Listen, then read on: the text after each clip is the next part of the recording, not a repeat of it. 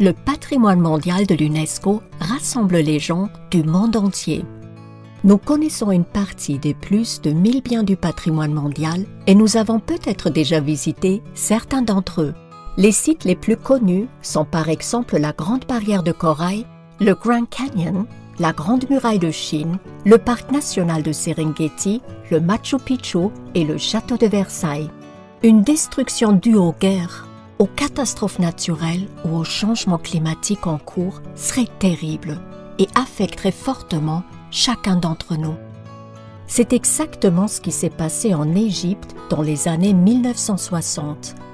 Avec la construction du barrage du Nil, les temples d'Abu Simbel, qui datent d'un millénaire, risquaient de sombrer dans les berges du fleuve. Grâce à une action de sauvetage solidaire lancée par plusieurs pays, les temples ont pu être sauvés.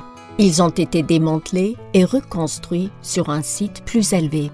Cette opération de sauvetage a permis de faire prendre conscience qu'il existe des endroits dans le monde qui doivent être protégés et préservés. C'est ainsi qu'est née, en 1972, la Convention du patrimoine mondial de l'UNESCO. L'objectif principal de cette convention internationale est la protection des biens naturels et culturels, appelés biens du patrimoine mondial. Il existe aujourd'hui plus de 1100 biens du patrimoine mondial dans le monde. Chacun de ces sites a une valeur universelle exceptionnelle.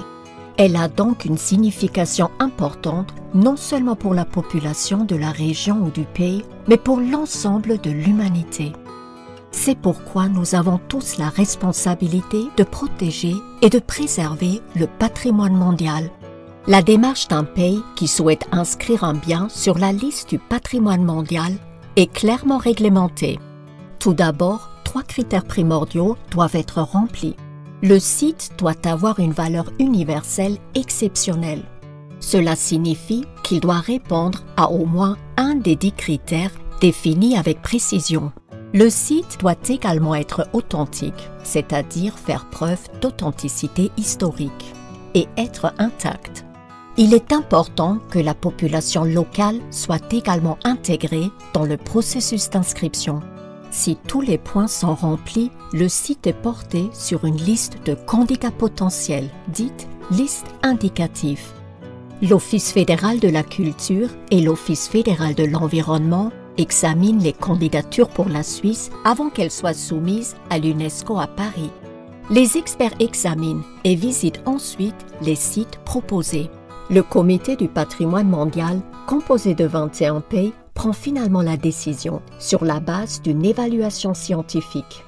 La Suisse compte de nombreux bâtiments et paysages importants 13 ont été inscrits sur la liste du patrimoine mondial de l'UNESCO et nous aident à mieux comprendre notre monde et notre histoire. Prenons donc soin de notre patrimoine pour nous-mêmes et pour les générations futures. Pour plus d'informations sur le sujet et sur les biens du patrimoine mondial, consultez le site suivant www.notrepatrimoine.ch et www unesco.ch